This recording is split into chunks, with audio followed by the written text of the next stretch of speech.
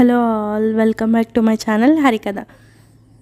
Sridhara Venkata Radhakrishnamurthy గారి ఛాయ part two విన్నాం కదండి? పార్ట్ త్రీ కదా ఇలా మొదలవుతుంది. ఛాయ రామారావు తమ ఇంటికి వచ్చేసారు వచ్చినప్పటి నుండి ఛాయ ఇంటి పనులు చూసుకోవడం మొదలుపెట్టింది. రామారావు ముభావంగా ఉంటున్నాడు. అతన్ని ప్రసన్నుణ్ణి చేసుకోవడం కోసం ఆమె ప్రయత్నిస్తుంది. ఛాయ అన్నం అతన్ని ఆకర్షిస్తూనే ఉన్నది. భ్రమరాన్ని పువ్వు ఆకర్షించినట్లు. ఇంత గొడవ ఇంత నాటకం జరగకుండా ఛాయ లాంటి పిల్ల అతని జీవిత సాచరణిగా లభించుంటే రామారావు ఆమెను నెత్తి మీద పెట్టుకొని చూసుకునేవాడే. ఉన్నంతలో అందలో ఎక్కించి ఉండేవాడే. కానీ వాతావరణం చాలా కలుషితం అయిపోయింది అతని మనసంతా అమావాస్య నాటి కడలి కెరటాల్లాంటి అల్లకల్లోలమైన ఆలోచనలతో నిండిపోయింది. అనుకోకుండా అదృష్టం కలిసి వచ్చింది అందమైన పిల్ల చదువు చురుకు తెలివితేటలు ఉద్యోగం సంపాదన అన్నీ ఉన్న పిల్ల తన మెళ్ళో పూలమాల వేసి ఆమె మెళ్ళో తన చేతి తాలిబొట్టు కట్టించుకొని తనతో కాపురం చేయడానికి వచ్చింది తన లాంటి నిరాయమయుడికి ఇంత అకస్మాత్తుగా ఇవన్నీ కలిసి రావడం నిజానికి అతనికి ఎంతో సంతోషాన్ని కలిగించాయి. కానీ ఎండకు తిరిగి వడదెబ్బ తిన్న మనిషిలా అతను వాడిపోయి ఉన్నాడు. నిరుత్సాహంగాను నీరసంగానూ ఉన్నాడు. ప్రసాద్ ఏమనుకుంటాడు? పూర్వంలాగా ఇంకా అతనితో తను ఎలా మసులుకోగలడు? ఛాయ అతను అన్ని ఊహల మెడలు కట్టుకొని అంత చనువుగా తిరిగిన వాళ్ళు విడిపోయి మళ్ళీ ఒకే గూటికి చేరుకొని కూడా పరాయి వాళ్ళుగా ఉండాలంటే ఎలా ఉంటుంది? ఎంతైనా వీళ్ళు ఋషులు కాదు కదా? మనుషులే కదా? అందులోనూ మనసు పడి మమతలు పెంచుకున్న మనుషులు కదా? రేపటి నుండి ఏం కాబోతుందో తలుచుకుంటే అతనికి భయం వేసింది. ఒకరోజు రాత్రి రామారావు తల క్రింద చేయి పెట్టుకొని ఇంటి దూలాలు లెక్క పెడుతూ పడుకున్నాడు. ఛాయ సన్నటి పూలు ఉన్న తెల్లని వాయిల్ చీర కట్టుకొని మడిచిపెట్టిన మిఠాయి పొట్లంలా అతని పక్కనే కూర్చొని ఉంది చాలాసేపు మౌనంగా ఇద్దరు ఎవరి ఆలోచనలో వాళ్ళు గడిపేస్తున్నారు. చివరికి ఆమె పలకరించింది. ఏమండి ఏమిటి ఆలోచిస్తున్నారు? ఏం లేదు. నా మీద కోపం తగ్గలేదా? నీ మీద ఎందుకు కోపం? మన మీద మన కోపం రాదు కనుక మనకెప్పుడు ఎదుటి వాళ్ళ మీదే కోపం వస్తుంటుంది కనుక. సంతోషించాలా ఏం తెలివితేటలకు? నాకు నిజంగా తెలివితేటలు ఉంటే నేను ఇన్ని కష్టాలు కొని తెచ్చుకునేదాన్నే కాదు. నా చుట్టూ ఉన్న వాళ్ళందరినీ ఇన్ని కష్టాలు పెట్టేదాన్ని కాదు. రామారావు భార్య వంక నిశితంగా చూశాక ఆమె మడిచిన మోకాల మీద చుబుకాన్ని నానించి తిన్నగా చూస్తూ నిద్రలో కలవరించినట్లుగా అంది. గతం గడిచిపోయింది. భవిష్యత్తు ఇంకా మన దగ్గరికి రాలేదు. మనల్ని ఎప్పుడూ నమ్మకంగా కనిపెట్టుకొని ఉండేది వర్తమానమే. కనుక మన ఆలోచనలు పనులు ఎప్పుడూ వర్తమానాన్ని ఆధారం చేసుకునే ఉంటాయి. ఈవేళ మనం చేస్తున్న ఈ పని నిన్న అనుకున్న దానికి విరుద్ధంగా ఉండొచ్చు. పైగా రేపటికి ఇది మేలు చేస్తుందో కీడు చేస్తుందో కూడా ఇప్పటికిప్పుడు స్పష్టంగా తెలీదు. అంచేత ఎప్పటికి ఏది మంచిదని తోస్తుందో ఆ పని చేస్తుంటాడు మనిషి. వింటున్నారా?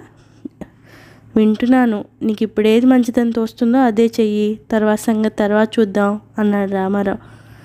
అతని మాటల్లో వ్యంగ్యం ఏమన్నా ఉందేమోనని కొద్ది క్షణాల సేపు ఆలోచించింది ఛాయ. తర్వాత అంది ఆ రోజు మిమ్మల్ని నేను నాతో తీసుకువెళ్ళినప్పుడు నేను అనుకున్నది వేరు. అక్కడికి వెళ్ళాక వాళ్ళందరినీ చూశాక నేను చేయవలసి వచ్చింది వేరు. అందుకు ఇప్పుడు విచారపడుతున్నావా? అని అడిగాడు రామారావు సూటిగా భార్య మొక్కల్లోకి చూస్తూ. ఆమె వెంటనే తడబడింది. లేదు లేదు మీరు అలాంటి ఆలోచనలు ఇంకా రానివ్వద్దు. మీరు నాకు దొరకడం నా అదృష్టమే.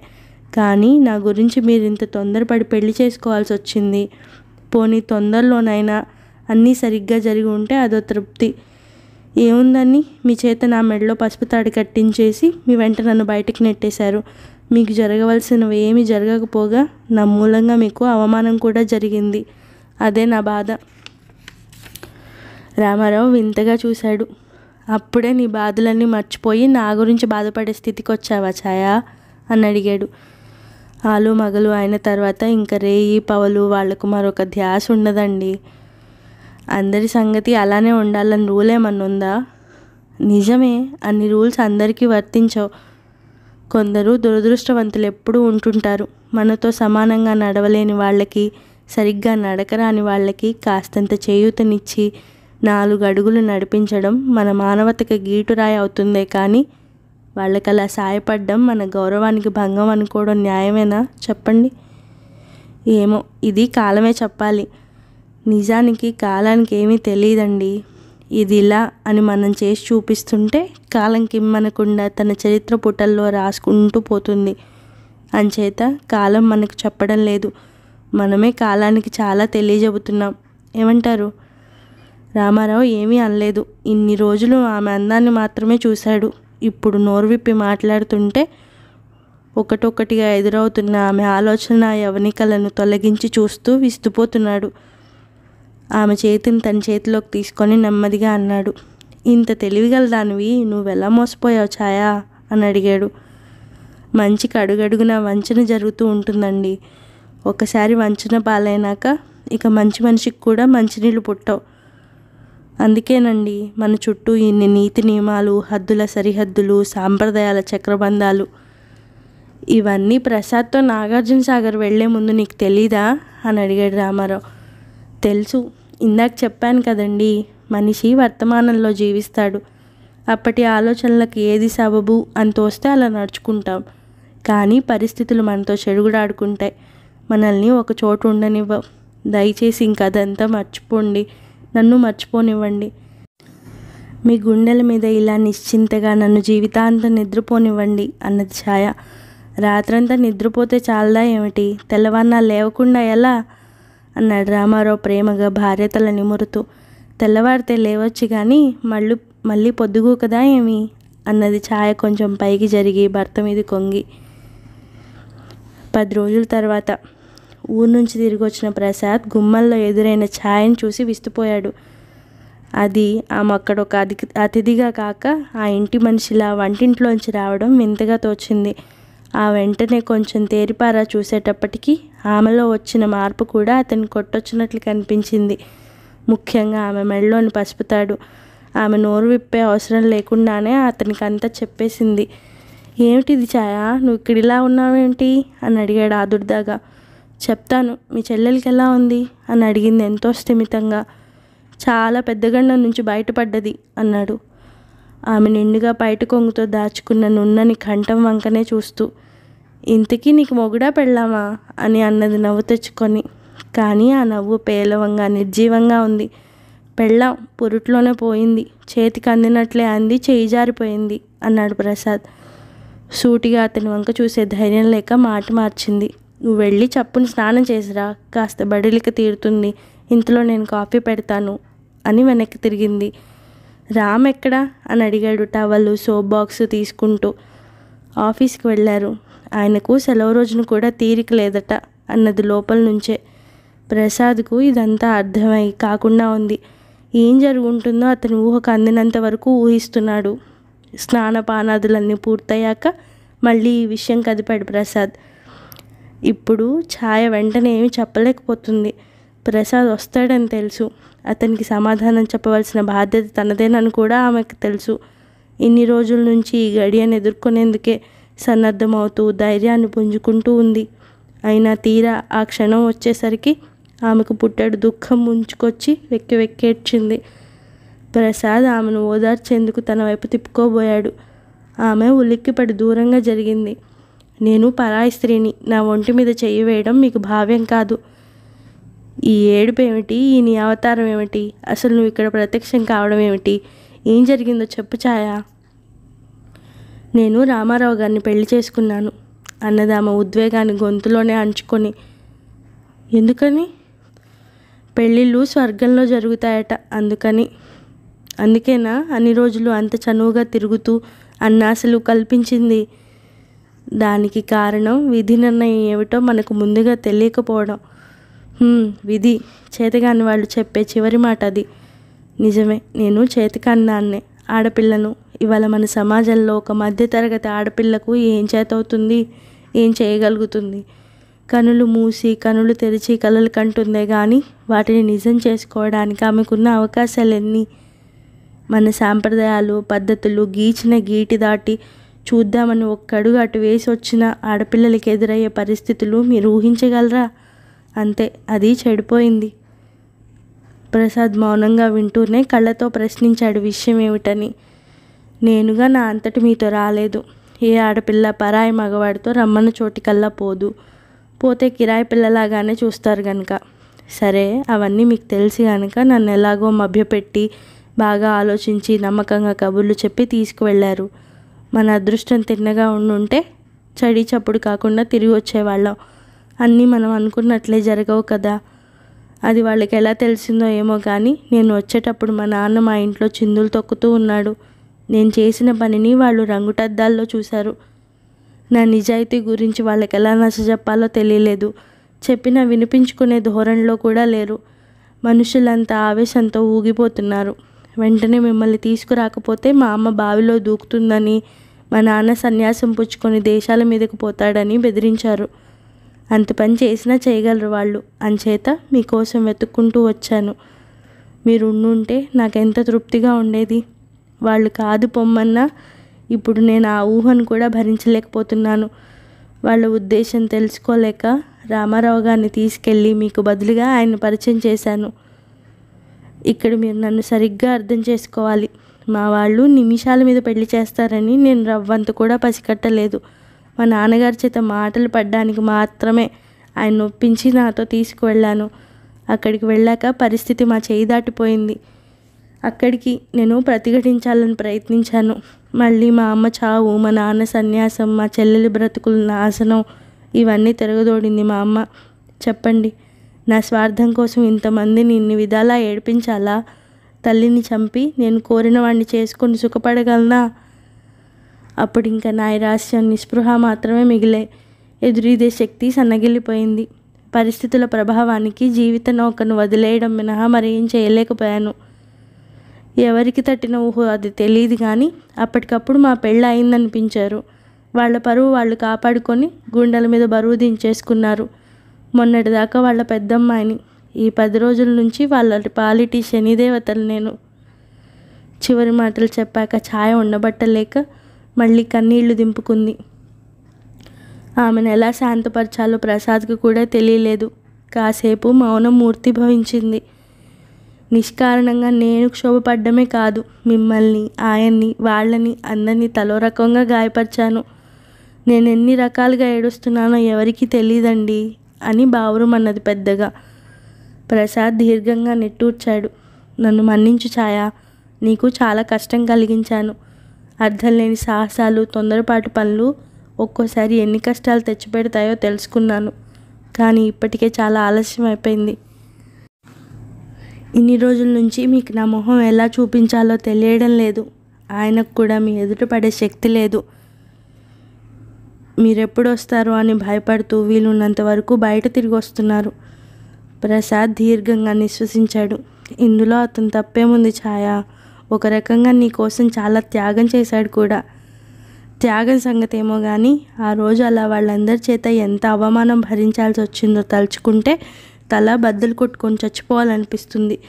చివరికి ఆయన పారిపోవడానికి కూడా సిద్ధపడ్డారు. అప్పుడంతా కలిసి ఆయన మీద యుద్ధానికి వెళ్ళారు. నన్ను ఇలాగా ఆయన అలాగా అదిలించి బెదిరించి మా పెళ్ళి చేశారు. సారీ ఛాయ మనం ఎంతో అందంగా అన్నీ ఊహించుకుంటాం. నక్షత్రాల్లో విహరించాలని మబ్బుల్లో తేలిపోవాలని కలలు కంటాం. కానీ కాళ్ళ ముందు ఏముందో చూడం. ఏ ఎదురాయో తగిలి ముందుకు పడిపోతాం.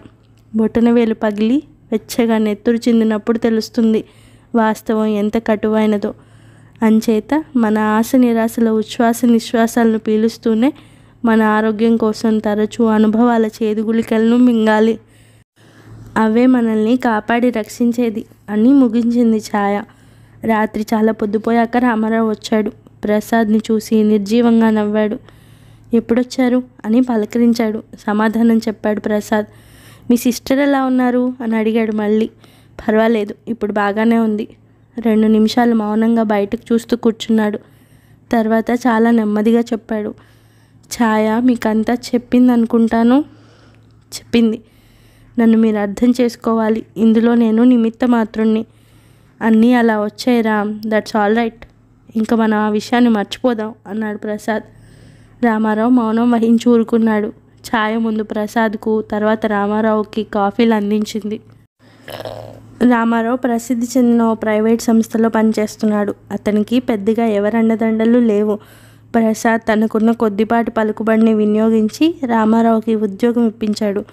ఏదైనా పట్టుకొమ్మ చిక్కితే దాన్ని పట్టుకొని పైకి పోవాలనే ఉద్దేశంలో ఉన్నవాడు కనుక రామారావు ఒళ్ళొంచి పనిచేసి తొందరలోనే అందరి మన్ననలు పొందాడు. పైనున్న యాజమాన్యం వారి దృష్టిని కూడా ఆకర్షించడమే కాక ఇతనికి మరింత బాధ్యతాయుతమైన పని ఇవ్వచ్చునన్న నమ్మకాన్ని కూడా వాళ్ళకు కలిగించాడు. వాళ్ళకి అభిప్రాయం కలిగే విధంగా అతను అనుక్షణం పాటుపడ్డాడు. ఫలితంగా అతను ఆశించిన అతనికి ఆశించిన దానికన్నా ముందుగానే ప్రమోషన్ వచ్చింది. జీతం కూడా కొద్దిగా పెరిగింది. అయితే అతను ఆ ప్రమోషన్ వచ్చిన విషయం కానీ జీతం పెరిగిన విషయం కానీ ఎవరికీ చెప్పలేదు. చివరికి భార్యకు కూడా చెప్పలేదు. ఎందుకంటే ఇప్పటి అతని సంపాదనతో సమానంగా అతని భార్య ఇంతకు ముందు నుంచే సంపాదిస్తుంది. అంచేత ఇదేమంత గొప్ప విషయం అని చెప్పుకుంటాడు. చెప్పుకుంటే తన తక్కువతనాన్ని తనే గుర్తు చేసినట్లే అవుతుంది పైగా. భార్యతో కాకపోతే ప్రసాద్తో చెప్పాలి. అతనికి ప్రమోషన్లు జీతం డబ్బులు అనేవి చాలా చిన్న విషయాలు. అతని జమా ఖర్చులు ఎప్పుడూ నాలుగు అంకెల్లో ఉంటాయి. తాను ఇంకా మూడు అంకెల్లోనే ఉన్నాడు. ఇందువల్లనే కాదు ఎందువల్లనో కానీ రామారావు ఇదివరకట్లా ప్రసాద్తో మసలలేకపోతున్నాడు. ఒకే ఇంట్లో ముగ్గురు మామూలుగానే మసలుతున్నారు కానీ మనసుల్లో మాత్రం తెరలు దిగిపోయాయి. అవి రోజు రోజుకి ఒకదానికి మరొకటి చేరి మరింత దళసరిగా మారుతున్నాయి కూడా. రామారావు పొద్దున్నే తొమ్మిదిన్నర కల్లా ఆఫీస్కి వెళ్ళిపోవాలి. అంటే కనీసం తొమ్మిదింటికన్నా ఇంటి దగ్గర బయలుదేరాలి. వాళ్ళు ఇంకో గంట ఆగి బయలుదేరతారు. సాయంత్రం కూడా ఛాయ ప్రసాద్ పెందరారే వచ్చేస్తారు. రామారావు ఏడున్నరకో ఎనిమిదింటికో వస్తాడు. అతను వచ్చేటప్పటికి ప్రసాద్ ఛాయ కబుర్లు చెప్పుకుంటూ ఉంటారు.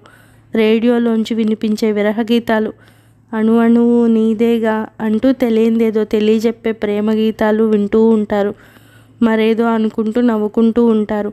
ఆ నవ్వులు అతని గుండెల్లో నిప్పులు జరుగుతూ ఉంటాయి. అయినా విధి లేక అతను తెచ్చిపెట్టుకున్న నవ్వుతో తిరుగుతూ ఉంటాడు.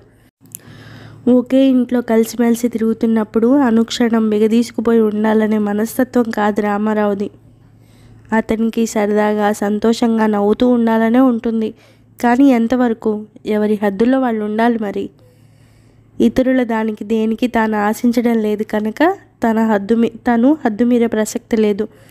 మరి వాళ్ళిద్దరూ ఆ హద్దుల సంగతి తెలుసుకుంటున్నారా? అన్న ప్రశ్న మొలకెత్తింది రామారావులో. ఆ అనుమాన బీజం పడకుండానే ఉండాలి కానీ అది మొలకెత్తాక ఇంకా పై పైకి తలెత్తకుండా ఉంటుందా?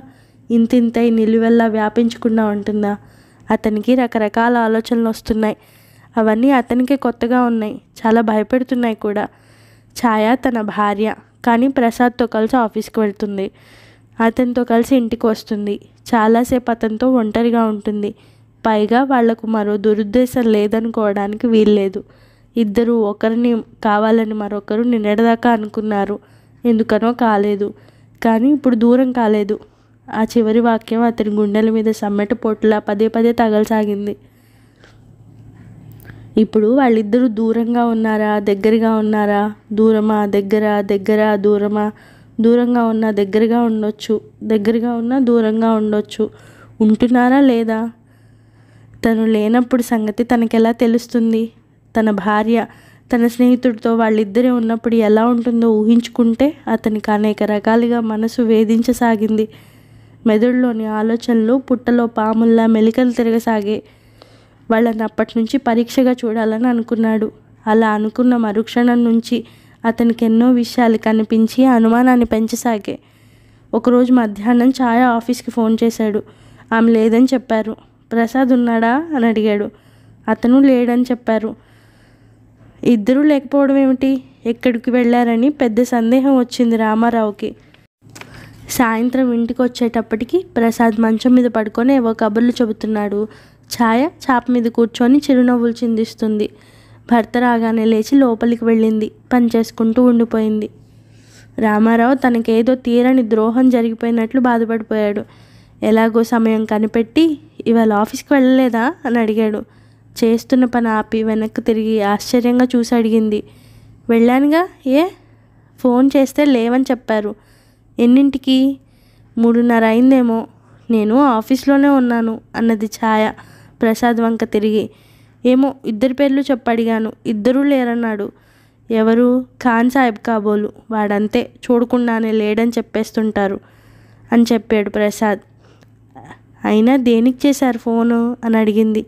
ఊరికే ఏం తోచలేదు. జస్ట్ కాసేపు మాట్లాడదామనిపించింది అని పేలవంగా నవ్వు ఊరుకున్నాడు రామారావు. ఛాయ చాలాసేపు దాని గురించి ఆలోచిస్తూ పరధ్యానంగా కూర్చోవడం రామారావు గమనించాడు. ఏం లేకపోతే ఎందుకంత మదన పడుతుంది అని కూడా అనుకున్నాడు. ఒకరోజు మామూలుగా ఆఫీస్కి వెళ్ళినట్లే వెళ్ళి ఒక అరగంట తర్వాత తిరిగి వచ్చాడు. వీళ్ళు ఏం చేస్తున్నారో చూద్దామని. ముందుగా తలుపులు వేసున్నాయి. తలుపు తట్టిన ఐదు నిమిషాలకు కానీ వీడివాడలేదు. ఎదురుపడ్డ భర్తను చూసి అడిగింది ఛాయ. ఏమిటి మళ్ళీ వచ్చేశారు? అని. పర్స్ మర్చిపోయాను ఛాయ అన్నాడు క్షమార్పణ కోరుకుతున్నట్లు జాలి గొలిపే స్వరంతో. ఇంకొన్నాళ్ళు పోతే నన్ను కూడా మర్చిపోయేటట్లున్నారు. చనువుగా అన్నది పక్కకు తప్పుకొని. రామారావుకి ఆ మాట మరో అర్థంతో స్ఫురించింది. తను ఆమెను మర్చిపోవాలని కోరుకుంటుందా? తను ఏది మర్చిపోలేడు. ఆమె అన్నమాట మర్చిపోలేదు అనుకున్నాడు అతను. ఏం చేస్తున్నారు? అని అడిగాడు ఆమెని. మళ్ళీ బయటకు వెళ్ళిపోతూ. భోజనం చేస్తున్నాం టైం అవుతుందిగా మాకు కూడా. రామారావు వెళ్ళిపోయాడు. తను లేనప్పుడు అలా తలుపులు వేయడం ఎందుకు? పరాయి మగవాడి ఇంట్లో ఉండగా భర్త లేనప్పుడు తలుపులు వేసుకుని కూర్చుంటే ఏమనుకోవాలి? గట్టిగా అడిగితే లోపల ఉన్నాం కాబట్టి బయట తలుపులు వేసామని చెబుతుంది. కానీ తనకు కావాల్సింది ఆ అతకని సమాధానం కాదు. ఆమె చర్య ఎలాంటిదో గమనించడమే తన పని. ఇదివరకు రామారావు చాలా వరకు ప్రసాద్ సహాయాన్ని పొందుతూ ఉండేవాడు. అడపాదడపా డబ్బు కూడా అడిగి తీసుకునేవాడు. తనకు ఉద్యోగం వచ్చినప్పటి నుండి అతని దగ్గర డబ్బు తీసుకోవడం మానేశాడు. అయినా చిన్న చిన్న సహాయాలు ఆయన దగ్గర నుంచి పొందడం ఇదివరలో అవసరం అయ్యేది ఇప్పుడు అలాంటి సహాయాలు పొందడం అతని వస్తువులు వాడుకోవడం పూర్తిగా మానేశాడు రామారావు. చివరకు అతను తెప్పించే పేపర్ కూడా ఇతను చూడడం మానుకున్నాడు. తను అతని వస్తువులు వాడుకుంటుంటే అతనికి మరింత లోకు కావాల్సి వస్తుంది దీపావళి పండగ వచ్చింది ప్రసాద్ చాలా డబ్బు ఖర్చు పెట్టాడు. అతనికి ఉంది కాబట్టి. తను కూడా బట్టలు కుట్టించుకున్నాడు. రామారావుకి ఓ షర్ట్ పీస్ తీసుకున్నాడు. ఛాయకు ఓ మంచి చీరకు తీసుకొచ్చాడు. ఛాయ్ వద్దు అంటూనే తీసి పక్కన పెట్టుకుంది. రామారావుకి మాత్రం ఈ చనువు ఏమాత్రం నచ్చలేదు. తన భార్యకు వాడి చీర కొనివ్వడం ఏమిటి? చేతనైతే తను కొనిపెట్టుకుంటాడు లేకపోతే ఉన్నదే ఏదో కట్టుకుంటుంది. ఇన్నాళ్ళ నుంచి వీడి చీరలు కొనిపెడితేనే కట్టుకుంటోందా? ఇలా ఆలోచనలు అతన్ని వేధించడం మొదలుపెట్టాయి. వంద రూపాయలు ఖర్చు పెట్టి మందు సామాన్లు తెచ్చాడు ప్రసాద్. తను కానీ ఖర్చు పెట్టనని చెప్పాడు రామారావు భార్యతో. కానీ లేవులేండి ఎక్కడి నుంచి తెచ్చి ఖర్చు పెడతారు? అని సరసమాడింది ఛాయ. రామారావుకి ములుకుల్లా గుచ్చుకున్నాయి ఆ మాటలు. అంటే తాను డబ్బు లేని వాడిని దెప్పడం అన్నమాట. తనకు తెలిసే చేసుకుంది కదా. తను ఏమన్నా లక్షాధికారిని చెప్పి మోసం చేశాడా ఏమన్నానా? ఇంకా తనే తోడు రమ్మనమని చెప్పి లాక్కెళ్ళి రౌడీయిజంతో తాళి కట్టించుకుంది. అసలు ఇదంతా ఒక ప్లాన్ ప్రకారం జరిగింది కాదు కదా? అన్న సందేహం కూడా అతన్ని ఇటీవల పట్టి పీడుస్తుంది. ప్రసాద్ తనలాంటి దిక్కులేని వాడిని చేరతీసి డబ్బెర్ర చూపి మంచి చేసుకొని ఉద్యోగం ఇప్పించి తాను వలిచిన దాన్ని వీడి మెడ కంటగట్టి ఆ పైన వాళ్ళిద్దరితో ఇంకా స్నేహంగా ఉంటున్నట్లు నటిస్తూ రామారావు ఆవేశంతో ఊగిపోతున్నాడు. ఆ వేళ ఛాయమోహాన నవ్వుల పువ్వులు విరిసినప్పుడల్లా రామారావుకి ఒంటి మీద తేళ్ళు జర్రులు పాకినట్టయింది. ఏం చేయడానికి అతనికి పాల్పోకుండా ఉంది. కానీ మనసంతా దావానలను రగులుకున్న అడవిలా ఉంది. ఏవో భయంకరమైన గర్జనలతో క్రూర క్రూర మృగాల్లాంటి దుష్టమైన ఆలోచనలు పరుగులు పెడుతున్నాయి. ప్రసాద్ కొనిపెట్టుకున్న ఖరీదైన తలనూనెలు పరిమళ ద్రవ్యాలు ఛాయ వాడుకోవడం కూడా రామారావుకి నచ్చలేదు. క్రమంగా తను దూరమైపోతున్నాడని తెలుసుకున్నాడు రామారావు. అతను ఫ్రీగా మాట్లాడలేకపోతున్నాడు ప్రసాద్తోనూ ఛాయతోనూ కూడా. వాళ్ళిద్దరూ మాట్లాడుకుంటుంటే సహించి భరించలేకపోతున్నాడు. మాటి మాటికి అతని కళ్ళు ఎక్స్రే కిరణాలతో వాళ్ళిద్దరిని కనిపెడుతున్నాయి. తన నుంచి వాళ్ళు ఏదో దాచిపెడుతున్నారన్న తపన కూడా పెరిగిపోతుంది. తను ముభావంగా ఉంటేనన్నా అర్థం చేసుకుంటారని అనుకున్నాడు రామారావు. కానీ తాను మౌనంగా ఉన్న వాళ్ళు మామూలుగానే ఉండడం చూసి తనను చివరికి లెక్క చేయడం కూడా లేదని ఇంకా బాధపడ్డాడు. ఒకరోజు ఎప్పుడో అతనికి సగం రాత్రిపూట అకస్మాత్తుగా మెలకు వచ్చింది. కళ్ళు తెరిచి చూస్తే ఛాయ పక్కన లేదు. అది మూడు గదుల పోర్షన్. ముందు గదిలో ఇప్పుడు ప్రసాద్ పడుకుంటున్నాడు. మధ్య గదిలో వీళ్ళిద్దరూ పడుకుంటున్నారు. నిద్రపోయే ముందు మధ్య తలుపు నెమ్మదిగా చేరవేసేది ఛాయ. గడియ వేస్తే చప్పుడు అవుతుందని కాబోలు. అలా చేయడం లేదు అనుకున్నాడు. కాసేపు అలాగే ఊపిరి బిగబట్టి పడుకున్నాడు రామారావు. తర్వాత ఛాయ గొంతు వినిపించింది. తలుపు వేయవచ్చా? అని అడిగింది ఛాయ. అని పలికాడు అతను. ముందు గది తలుపు వేసిన చప్పుడు వినిపించింది. ఆ వెంటనే ఛాయ యువతలి గదిలోకి వచ్చి మళ్ళీ మధ్య తలుపు చేరవేసి పడుకుంది. బాత్రూంలోకి వెళ్ళాలంటే ముందు గదిలో నుంచే వెళ్ళాలి. ఇప్పుడు తను అక్కడి నుంచే వస్తుంటే వాణ్ణి పలకరించడం ఎందుకు? ఒకవేళ మెలకువగా ఉంటే మాత్రం అర్ధరాత్రి కూడా పలకరింపులు చిలకరించుకోకుండా ఉండలేరన్నమాట వీళ్ళు ఇలా ఉంటే తను ఎంతవరకు కాపలా కాయగలడు? అదేమని తను అడిగితే అది తన కుసంస్కారం అని వేలెత్తి చూపిస్తారు. వీళ్ళ సంస్కారం ఏం మండిపోతుంది కనుక తను ఏమీ అనలేక ఊరుకుంటుంటే వీళ్ళ చేతులకు అడ్డు ఆపు లేకుండా పోతుంది. ఇంటి దొంగను ఎవరు పట్టుకోగలరు? ఇన్నాళ్ళు తాను ఓర్మి వహించింది ఏమీ అనలేక కాదు. ప్రసాద్ మీద తనకున్న కృతజ్ఞతా భావమే ఇంతవరకు తన నోరు మూయించింది. కానీ కృతజ్ఞతను కృతజ్ఞత కాటేసింది. ఇప్పటికైనా తాను మేల్కోవాలి. ఈ మూడు గదుల మధ్య వీళ్ళిద్దరూ ఆడుతున్న చదరంగంలో తనను ఒక పావు కింద మార్చి ఆడుకుంటున్నారు. ఈ ఆటని తను కట్టించగలడు. అసలు తాను ఈ పని ప్రసాద్ వచ్చిన మన్నాడే చేసి ఉండాల్సింది కానీ ఎదుటివాడు చెడ్డవాడని రుజువయ్యేదాకా కనీసం అలా అని తెలిసేదాకైనా మంచివాడని నమ్మాలి. అన్నది రామారావు సిద్ధాంతం. ఇప్పుడు ఆ సిద్ధాంతం ప్రకారం చూసినా తన నమ్మకాన్ని వీళ్ళిద్దరూ ఒమ్ము చేశారని నిర్ధారణ చేసుకున్నాడు రామారావు. ఈ మధ్య ప్రసాద్తో ముఖాముఖి మాట్లాడడం మానేశాడు రామారావు.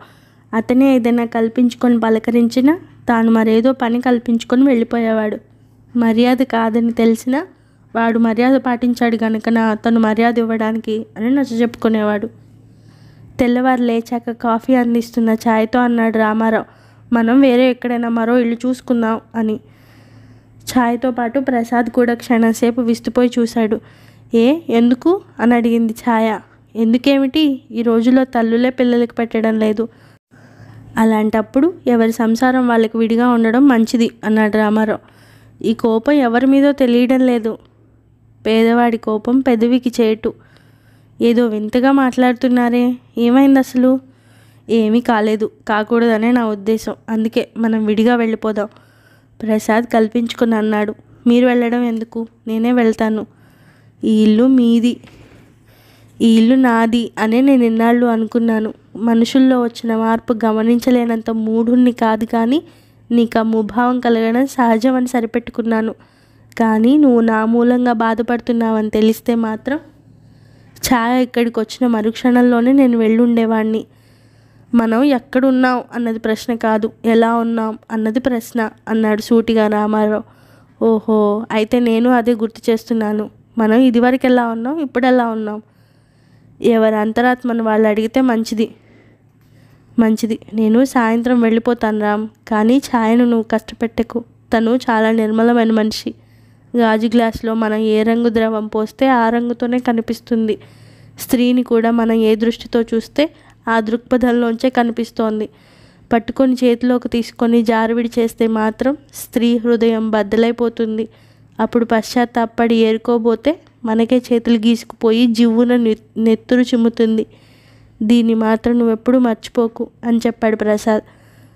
రామారావు వెళ్ళిపోయిన వెంటనే ప్రసాద్ కూడా తన సామాను సర్దేసుకొని వెళ్ళిపోవడానికి ప్రయాణం అయ్యాడు అదేమిటండి? ఆయన ఏదో తొందరపడంటే మీరు తొందరపడి వెళ్ళిపోతారా అని అడిగింది ఛాయ. జబ్బు వచ్చింది అని తెలిసాక ముద్రకు ముందే తొందరపడి నివారించుకోవడం మంచిది కదా ఛాయ? మీరు కూడా వెళ్ళిపోతే ఈ ఇల్లు బావురుమంటుంది అంది ఛాయ. భయంకరమైన శబ్దమైన నీరవ నిశ్శబ్దమైన అలవాటయ్యేంతవరకే ఛాయ. తర్వాత ఏదైనా ఒకటే. ఇంత హఠాత్తుగా ఎక్కడికి వెళ్ళిపోతారు? అని అడిగింది ఛాయ తడికన్నులు తుడుచుకొని. ఇన్ని లక్షల మందికి నేర్నిచ్చిన ఈ మహానగరం నా ఒక్కడికే ఆశ్రయం ఇవ్వలేదా? అదీగాక ఇన్నాళ్ళకి ఈనాడు నేను తమ దగ్గరికి వచ్చి ఉంటానంటే ఆనందంతో కౌగిలించుకునే స్నేహితులు నాకు చాలామంది ఉన్నారు ఛాయ. మీకేమండి? అన్నీ గొప్పగా ఉండడమే కాదు హృదయము గొప్పది. తెలుసుకోలేని ఈయన లాంటి వారు పో పొమ్మన్నా మీ సంగతి తెలిసిన వారెవరైనా రా రమ్మనే అంటారు. రామం మాత్రం నన్ను పొమ్మన్నాడా? తాను పోతానని మాత్రమే అన్నాడు. అది నీ సుఖం కోరే అన్నవాడు ప్రసాద్. మరే ముందున్నవన్నీ నేను సుఖపడే రోజులే అన్నది ఛాయ దలదించుకుని. అంతటితో ఆ ప్రసంగం ఆపి మళ్ళీ సామాన్లు సర్దుకోవడంలో మునిగిపోయాడు ప్రసాద్. రామనాథ శాస్త్రి గారు ఛాయకు పెళ్ళి చేసి పంపించాక కూడా కూతుర్ని క్షమించలేకపోయాడు. ఆయనకు తన మాట కాదని రహస్యంగా ప్రణయ కలాపం జరిపి తన కుటుంబ గౌరవాన్ని కూలగొట్టే ప్రయత్నం చేసిన ఛాయ మీద రవ్వంతైనా జాలి కలగలేదు. ఎప్పుడైనా కన్న తల్లి కన్నీరు పెట్టుకొని పెద్ద కూతుర్ని తలుచుకుంటే కండకావరం ఎక్కిన దానికి నువ్వు నేను ఎక్కడ కనపడతామే? పోనీ దాని ఇష్టం వచ్చిన వాడితోనే ఊరేగని అనేవాడు పళ్ళు నూరుతూ. పోనీ నేను ఒక్కసారి వెళ్ళి చూసిరానా? అని అడిగేది జాలిగా. అక్కడికి వెళ్ళిన వారెవరూ ఇక్కడికి రానక్కర్లేదు. ఈ విషయంలో ఎవరిని క్షమించేది లేదు అని కర్కశంగా శాసించాడు. తాను అంత కాఠిన్యం వహించడానికి గల కారణం భార్యకు ఒంటరిగా వివరించాడు. నువ్వు నేను కూతురు అల్లుడు అనుకుంటున్నాం కానీ లోకం వాళ్ళని అలా చూడడం లేదు. మన బంధువులంతా ఏమనుకుంటున్నారు నీ చెవికి రాలేదు కాబోలు. అది ఎవరితోనో లేచిపోతే మనం దాన్ని తీసుకొచ్చి అప్పటికప్పుడు తాళి కట్టించావనే చెప్పుకుంటున్నారు. దాన్ని మన వాళ్ళెవరు రానివ్వరు. మనం దాంతో రాకపోకలు పెట్టుకుంటే వాళ్ళెవరు మన ఇంటికి రారు. నీ మిగిలిన కూతుళ్ళకు పెళ్ళిళ్ళు కావు. దూరం ఆలోచించి చెబుతున్నాను. ఇంకా దానితో సంబంధం తెంచుకోవడమే మంచిది అని భార్యకు నచ్చజెప్పాడు ఒకటి రెండు సార్లు పిల్లలకు ఛాయ కనపడ్డా ఆమె ఎవరో వాళ్ళకు తెలియనట్లు మొహం తిప్పేసుకోవడంతో వాళ్ళ హృదయాల్లో తనకున్న స్థానం ఎంతో కూడా ఆమెకు తెలిసి వచ్చింది. కన్నతల్లి కూడా ఇంతవరకు తన వంక తిరిగి చూడలేదు. కనుక తను బ్రతికి ఉన్నట్లుగా కూడా వాళ్ళు గుర్తుంచుకోలేదన్నమాట అని తలపోసి ఖేదపడింది. ఆ విధంగా పుట్టింటి వారి నుంచి బంధువర్గం నుంచి తాను పూర్తిగా దూరం అయిపోయిందని స్పష్టంగా తెలుసుకుంది. రామారావు తనను ఛాయను అనుమానిస్తున్నాడని గ్రహించి బయటకు వచ్చాక ప్రసాద్ ఆఫీస్లో కూడా ఆమెతో మాట్లాడడం పూర్తిగా తగ్గించేశాడు. ఇది ఆమెకు బాధ కలిగిస్తుందని తెలిసినా అది తన కర్తవ్యంగా తలపోశాడు అతను. అయితే రామారావుకి మాత్రం ఇంకా మనసులో అనుమానం పీకుతూనే ఉంది. తను ఉండగానే తన కళ్ళు కప్పాలని ప్రయత్నించిన వీళ్ళు బయట బుద్ధిగా ఉంటారనే నమ్మకం ఏమిటి అని పదే పదే మదన పడుతున్నాడు. ఓ రోజు ఇద్దరికి ఆఫీసులు లేకపోవడాన మధ్యాహ్నం మ్యాట్నీకి వెళ్ళి రామారావు కోరిక మీద రాత్రి హోటల్లో భోంచేసి సరదాగా వెన్నెల్లో కాసేపు అలా కూర్చొని తిరిగి వచ్చి చల్లగాలి కారు బయట కూర్చొని కబుర్లు చెప్పుకుంటున్నారు. ఈ మధ్యకాలంలో వాళ్ళిద్దరూ అంత ఆనందంగా ఉన్న సమయమే లేదని చెప్పాలి. పరుపు మీద తెల్లటి దుప్పటి పరిచి రెండు దిండ్లు ఒకదాని పక్కన ఒకటి వేసింది. తెచ్చిన మల్లెపూలు కొన్ని తలలో తురుముకొని కొన్ని పక్క మీద విరజిమ్మింది. తాంబూలాలు నములుతూ ఇద్దరు ఎదురెదురుగా పడుకొని చిన్న స్వరంతో కబుర్లు చెప్పుకుంటున్నారు. పదే పదే ఆమె కనురెప్పలు బరువెక్కి మూసుకుపోతూ ఉండగా ఊరగా భర్తను చూస్తుంది ఆమె ఇవాళ నువ్వు చాలా అందంగా ఉన్నావు ఛాయ అన్నాడు రామారావు భార్య వంక తదేకంగా చూస్తూ.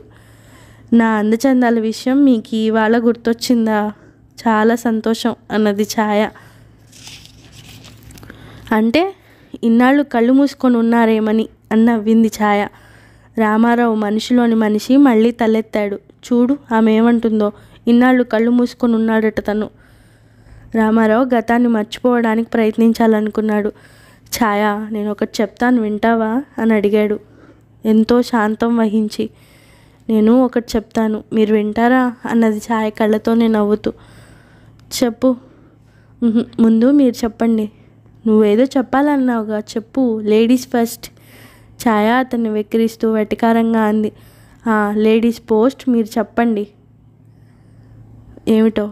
లేదులే నువ్వు చెప్పేదే ముందు వినాలి చెప్పు అన్నాడు రామారావు. ఆమె చేతిని తన రెండు చేతుల్లోకి తీసుకొని మృదువుగా నిమురుతూ. ఇద్దరం చెప్పదలుచుకున్నది ఒకటే అన్నది వెన్నెల కన్నా తెల్లగా చల్లగా నవ్వుతూ. చెప్పు మరి మీరే చెప్పండి. నువ్వు ఉద్యోగం మానేరాదా ఛాయ? అని అడిగాడు రామారావు ఛాయ ముఖంలోకి చూస్తూ. ఛాయ విస్తుపోయింది. దేనికి? నువ్వు ఇంట బయట కష్టపడ్డం నేను చూడలేకుండా ఉన్నాను అన్నాడు రామారావు. కానీ ఆ సమాధానం అతనికే తృప్తిగా లేదు. నన్ను మీరు నొప్పించకుండా ఉంటే చాలు. ఇంట బయట అలవాటైన పనులు చేసుకుపోవడం నాకు కష్టం కాదు. నీలాంటి సుకుమారమైన భార్యను గారవంగా చూసుకోవాలని నాకు ఉంటుంది ఛాయ. కానీ ఈ మధ్య మనసే బాగుండడం లేదు. ఎందుకని? ఏం లేదులే ఊరికినే అలా అన్నాను అన్నాడు మళ్ళీ ఏదో ఆలోచించుకొని. నా దగ్గర కూడా దాపరికమేనా? నాకేం దాపరికాలు? ఇంకా నీకుంటాయి. ఛాయ? మాటలకు గాయపడిన లేడీలా దీనంగా చూసింది. కొద్దిసేపు మౌనంగా ఊరుకుంది అలక వహించి. మళ్ళీ రామారావే అడిగాడు. ఏమంటావు? ఏమిటి? ఉద్యోగం మానే రాదు. మానేస్తే ఎలా జరుగుతుంది? పైగా మనకు బాధ్యతలు పెరిగిపోతున్నాయి. ఖర్చు కూడా పెరుగుతుంది అన్నదామె తలదించుకుని అంటే? అని అడిగాడు రామారావు ఆశ్చర్యంగా.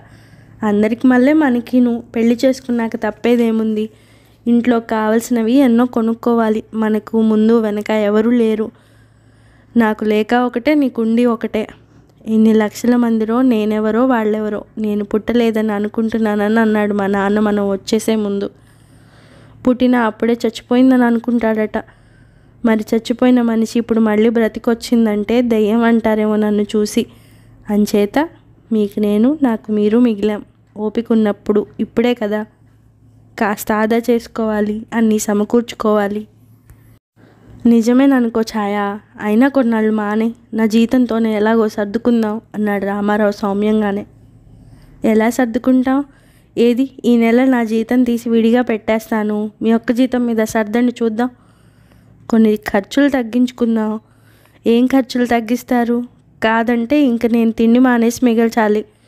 పోనీ నేను ఒక పూట మానుకుందామన్నా త్వరలోనే మీ చేత అంతకు పది రెట్లు ఖర్చు పెట్టించేవాడు ఒకడు రానున్నాడు. అంటే? ఛాయ? రామారావు వంక సిగ్గును సంతోషాన్ని మిళితం చేసి చూసింది. వెంటనే తలదించుకుంది. నిజంగా నా ఛాయ? అని అడిగాడు రామారావు ఆమె మొహాన్ని తన వైపుకు తిప్పుకొని. ఏమో నాకు తెలియదు బాబు అన్నది ఆమె పారవశ్యంతో కళ్ళు మూసుకొని. రామారావు మాత్రం దిగులుగా వెల్లకిలా పడుకున్నాడు. ఆమెకు దూరంగా జరిగి ఛాయ తను పక్కకు ఒత్తిగిలి పడుకుంది. తన ఆలోచనలను తోడు చేసుకొని మర్నాడు సాయంత్రం లేడీ డాక్టర్ దగ్గరికి వెళ్ళొచ్చారు. వచ్చిన తర్వాత ఒక గంట సేపటి దాకా భార్యాభర్తలు ఇద్దరు మౌనంగా దీర్ఘంగా ఎవరి ఆలోచనలో వాళ్ళు ఉండిపోయారు. ఎప్పటికో రామారావు లేచి ఛాయ్ దగ్గరగా వెళ్ళాడు. ఆమె భయంగా చూసింది. నా మాట వినవా? అని అడిగాడు అతను. మీరేమంటున్నారో నాకు అర్థం కావడం లేదు. అన్నది ఆమె బెదిరిపోతూ ఇప్పటి నుంచే మనకి పిల్లలు వద్దు ఛాయా? ఆమె మాట్లాడలేదు. కానీ ఆమె మొహం కళావిహీనం అయిపోయింది విచారపు మబ్బులు దట్టంగా కమ్ముకుంటున్నాయి. రేపు నేను ఒక డాక్టర్తో మాట్లాడొస్తాను. తర్వాత నువ్వు వద్దు కానీ నేను రాను అన్నది ఆమె దృఢంగా. ఏ? అని అడిగాడు రామారావు కొంచెం కఠినంగానే. ఎందుకు మీరు ఇలా నన్ను ఏడిపిస్తున్నారు? అన్నది మంచి ముత్యాల లాంటి కన్నీటి బిందువుల్ని వర్షింపచేస్తూ. ఇంకోసారి చూద్దాం. ఇప్పుడు మనమేం ముసలి వాళ్ళం అయిపోయామా? ముసలి వాళ్ళు అయిపోయాక పిల్లలు కలిగితే వాళ్ళని పెంచి పెద్ద చేయడం ఎంత కష్టం? అందుకనే తొందరగా పిల్లలు ఎక్కొచ్చి మనల్ని ఆదుకుంటే మనకు అది సుఖం కాదు. నువ్వు నాతో వాదించొద్దు. ఈ ఒక్కసారికి నా మాట విను. వినను అన్నది ఖచ్చితంగా. ఆమెకు కోపం వచ్చింది. దుఃఖం పోయి ఈ విషయంలో నేను రాజీ పడను అన్నాడు రామారావు చాలా పౌరుషంగా. నేను అంతే అన్నది ఛాయ్ కూడా రెచ్చిపోయి. నువ్వు ఇంత పట్టుదల ఎందుకు పడుతున్నావో నాకు తెలుసు అన్నాడు రామారావు చివరికి. ఏమిటండి మీకు తెలిసింది? ఇందులో చిదంబర రహస్యం మాత్రమే ఉంది పెళ్ళి చేసుకొని పిల్లల్ని కనడం అనేది లోకాతీతమైన విషయమేం కాదు కదా? అంత సాధారణమైన విషయానికి నువ్వు ఇంత పట్టుదల పట్టడం ఎందుకు? అని అడిగాడు మళ్ళీ. ఏ విధంగా చూసినా మీరు అడిగేదానికి ఒప్పుకోవాల్సిన అగత్యం నాకేం కనపడడం లేదు. ఇంకా మీరు ఆ విషయం గురించి ఆలోచించడం మానేయండి. నేను చివరిసారిగా అడుగుతున్నాను. మీరు వెయ్యి సార్లు అడిగినా నా సమాధానం ఇదే. ఇది స్త్రీకి భగవంతుడిచ్చిన వరం. నేను చాలా పోగొట్టుకున్నానని దుఃఖపడుతుండగా ఈ కొద్దిపాటి అదృష్టం నాకు లభించింది. దీన్ని కూడా నేను దూరం చేసుకోలేను. ఇది చాలా దూరం పోతుంది ఛాయా అన్నాడు బెదిరిస్తూ. మీ ఇష్టం. ఎంత దూరమైనా పోనివ్వండి. కానీ నాకు చిన్న బాబు కావాలి. ఆమె ఆ మాటలు అంటుండగా రామారావు వినలేనట్లు అక్కడి నుంచి లేచి దూరంగా వెళ్ళిపోయాడు. అటు తర్వాత కూడా చాలాసార్లు భార్యాభర్తలు ఇద్దరు ఈ విషయంలో ఘర్షణ పడ్డారు.